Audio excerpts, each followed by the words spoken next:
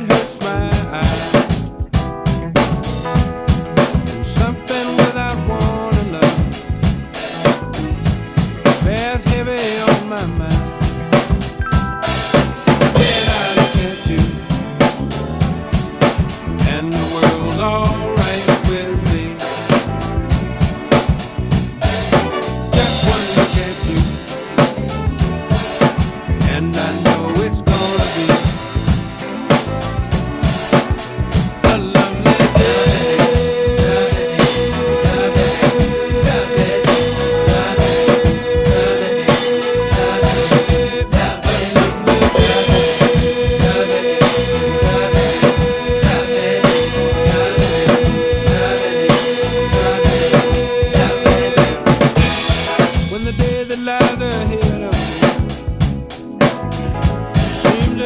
impossible to face.